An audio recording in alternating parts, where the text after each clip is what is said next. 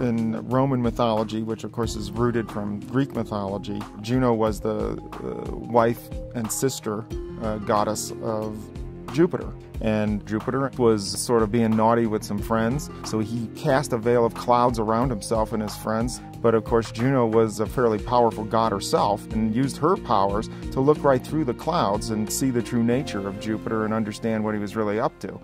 And that's exactly what the Juno spacecraft does for us, is that it goes there with special instruments in a special orbit and uses its powers to see right through Jupiter's clouds and understand its true nature, which is holding these secrets for us about how the solar system formed and where we all came from. Juno spins like a propeller, uh, where the propeller's kind of facing the sun because they're all solar powered.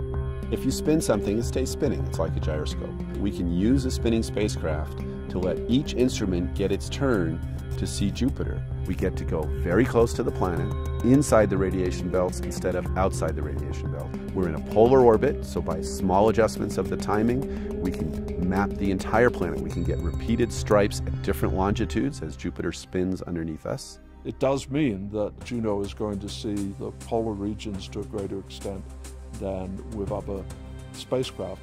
But I think the most important thing is that it gets in very close to the planet as part of that ellipse, brings it in a few thousand miles above those cloud tops, very close, near the equator. We're going to go over the poles of Jupiter. That means we can study the magnetosphere in a different way. A magnetosphere is the sphere of influence of a magnetic field. So a planet that has a magnetic field has a magnetosphere when its sphere of influence extends beyond the planet out into space and affects the region around it. The magnetosphere of Jupiter is vast. So if you think of Jupiter being 10 times the size of the Earth, and the magnetosphere is 100 times the size of Jupiter.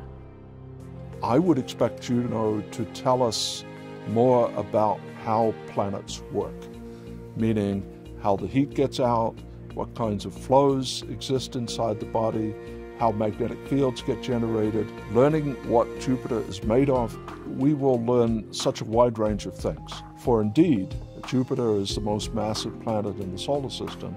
It is the body you want to understand in order to understand the architecture of everything else, including Earth.